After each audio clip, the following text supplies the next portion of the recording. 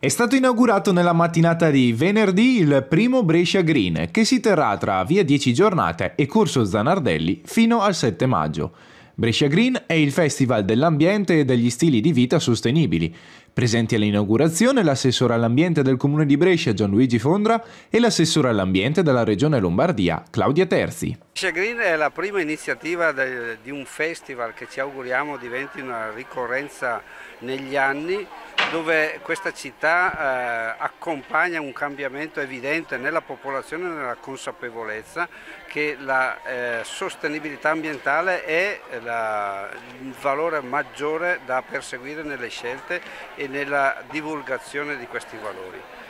Eh, a me fa particolarmente piacere ricordare ai nostri concittadini che questo non più di quattro anni fa era un corso trafficato, percorso da macchine e da autobus, oggi sta diventando il luogo principale della riflessione e della festa anche intorno agli stili di vita sostenibili.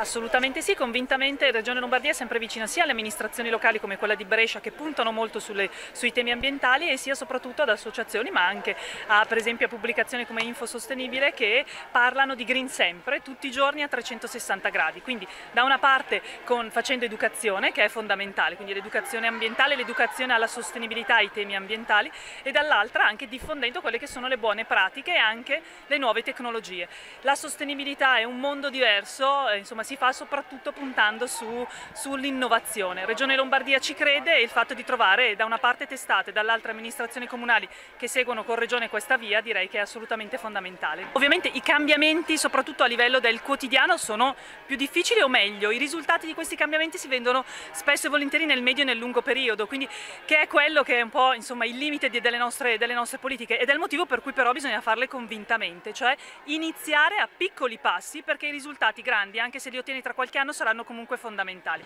Quindi questo è, lo fa Regione Lombardia per esempio sposando progetti europei sul riuso, pensate voi, del materiale da demolizione, che voi direte magari è ben poca cosa all'interno di una discussione più ampia, ma è fondamentale in una regione, in una provincia come Brescia o la mia Bergamo, dove l'edilizia l'ha sempre fatta da padrone. Quindi piccoli passi per grandi risultati, anche nel tempo, in un tempo più lungo. Innovativo se si pensa soprattutto che sostanzialmente d'ora in poi, già dalla prossima stagione termica, le azioni si muoveranno le regioni si muoveranno con azioni assolutamente comuni, ma comuni vuol dire dai giorni agli orari per esempio del divieto di circolazione, dalle modalità con cui, cui, con cui intervenire per quanto riguarda il riscaldamento domestico, l'agricoltura, quindi una sinergia che renderà ovviamente la vita più facile ai cittadini che abitano in queste regioni, che quindi non dovranno tutte le volte stare lì a vedere se devo passare dalla Lombardia o dal Piemonte se cambia qualcosa,